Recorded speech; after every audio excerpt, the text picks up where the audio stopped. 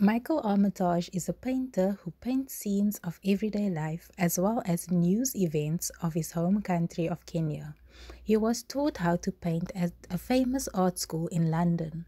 Normally, an artist would paint on canvas, which is a type of cloth that gets stretched over a wooden frame. Michael, however, paints on Lubugo cloth. Lubugo is a unique material from East Africa. Most type of cloth are made out of plants, but Lubugo is made out of tree bark. Michael uses this cloth because he wanted to combine traditional painting methods with something that was uniquely Kenyan to show people that his artworks are about his home country. Lubugo is hard to paint on, and Michael had to change his style of painting so that the paint could stick to the cloth. That is why his paintings look so unique.